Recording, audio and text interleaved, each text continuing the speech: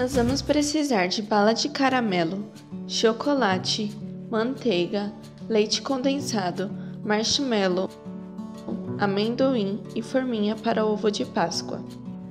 Vamos começar levando o amendoim para o forno e depois colocar em um pano de prato para tirar todas as casquinhas.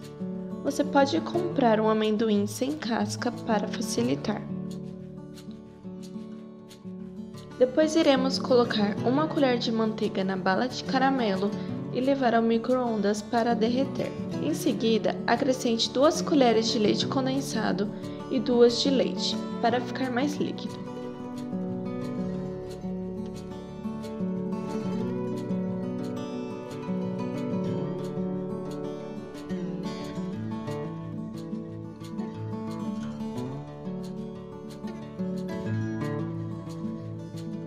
Acrescente o amendoim e reserve.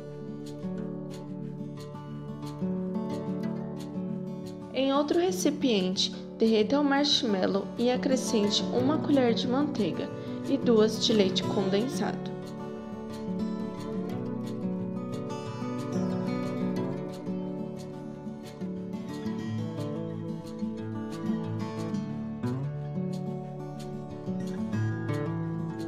Faça a casca do ovo e leve ao congelador.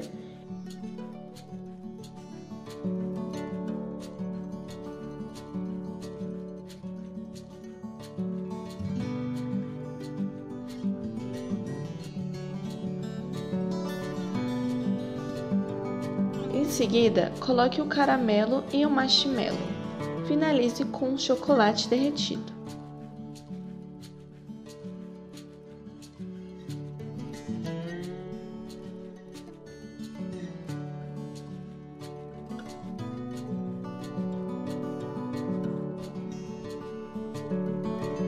Leve ao congelador e está prontinho.